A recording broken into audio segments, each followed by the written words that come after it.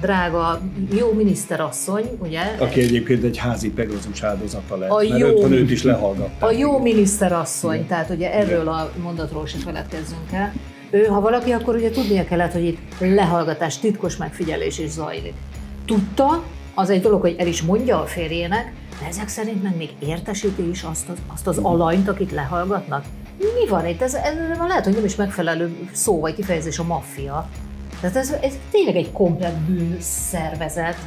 Értesítik a potenciális tettest, bejárkálnak az ügyészségbe kicsit átfirkálni az, az anyagot. Eddig egyébként az ügyészségnek esze ágában nem volt Varga Juditot És meghallgatni. csak azért lett ez az egész, mert a Miközben- port nem elég jó.